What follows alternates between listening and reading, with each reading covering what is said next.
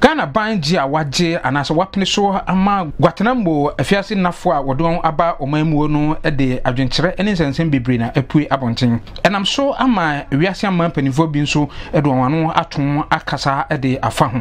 Ɔmu baako ne zimbabwe mampanin robert mugabe nsɛnsɛm bi a ɔno nso so ɛka fa a ɔmampanin maama ne n'aban ho ɛfa pene a wɔpene so ma guatemala presidentfoɔ anaasɛ afiase nnafoɔ yi ɛba hanom na wɔtwetwa mu no wɔ atv asɛm de ka dwumadie so ɛna mmarahyɛbadwani a ɔno ɛna ɔgyina hɔ nom ma la dade kotopɔn wɔ nkrampɔtam ha nom ni amasa na moale nso so ɛba dwumadie no so na ne nsɛm bi a anaasɛ mmuaeɛ a ɔka de ɛfa ɔmampanin robert mugabe ho no ɛne sɛ sɛ yɛka adurutwanfoɔ anaasɛ akakabenfoɔ anaa wiase ɛmu nnipa a ɔdi akakabensɛm no ho a ɔmampanin robert mugabe nso so ɛka ho bi robert mugabe Dr. Kamuzu Banda, Joseph Mumbala, Cyril Ramaphosa, uh, uh, Shipingana Masweta, all these people, Robert Mugabe of Zimbabwe, no of Rhodesia, uh, Robert Mugabe, uh, uh, Kamuzu Banda of Malawi, Joseph Mumbala of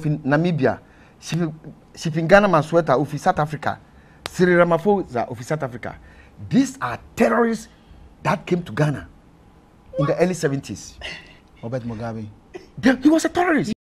saa asɛm yi ɛna ɛnsene dr. Papa kwasi ndum ɛkyiri mu. Ama ɔno nso so ayi mmuayɛ wɔ ho. Ɔhyia nsɛntwerɛfoɔ dr. Ndum asɛm wɔkan no ɛne sɛ ɛbɛhia papaapa sɛ mmarahyɛbadwani ni amasan na moale ɛbɛpa ghanafoɔ ne ɔmampanin robert mugabe akyɛw ne nyinasoɔ no ɛne sɛ mpanimfoɔ ne abibiman mu mpanimfoɔ a wɔko ɛbere wɔn mogya ni agye abibiman si hɔ nom no sɛ sɛ biribi nti ɔba ɔman mu anaasɛ wɔtutu kwan akɔ ɔman bi so akɔbɔ wɔn adwa a ɛnyɛ adeɛ a yɛbɛtumi de atoto ɛyɛ guatana mu afiase nafo a wɔreba ha yi no ho nti wɔn deɛ ɔsrɛ papaapa sɛ sɛ mmarahyɛbadwani ni amasa na moale ɛretie no deɛ a wɔn mmɔden sɛ ɔbɛpa ghanafoɔ kyɛw na ɔmo mpanin maama nso so na wapɛ biribi de aka kyerɛ no. mp for la Dadekotopon said on Asamedika that Mugabe and certain people that they were terrorists. I don't know in what context uh, he, he, he put those uh, labels on them. I watched the show myself, I didn't quite understand his usage of the word terrorists. And he chose people who had been involved in the African liberation struggle. If it had been someone, I don't know, from Serbia, from China, from some other place, I might not have much to say or not even have much knowledge about those people and their peculiar situations.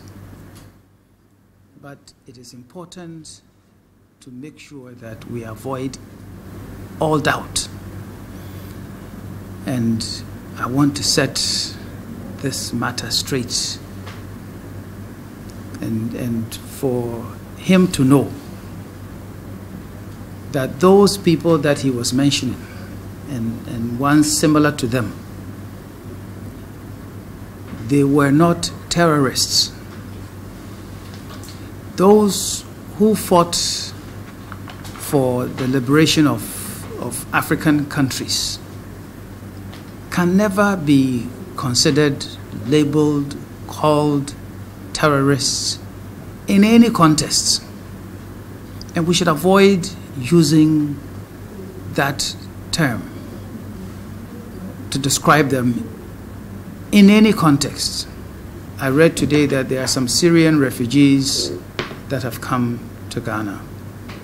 Their circumstance is very different from that of the Mugabes and others from southern part of Africa in particular. When I say southern, it involves current Zimbabwe, current Zambia, current Namibia, current South Africa, and so on and so forth. Their circumstances are, are different. We can also not in any way compare their circumstance or the circumstance that compelled them to seek refuge somewhere else to that of the, the two people that have been brought to Ghana from Guantanamo, Guantanamo Bay. We, we can't compare the circumstances. So if he, as an MP who sits in Parliament on the ticket of the NDC, is seeking to justify those people coming here, he should use some other justification.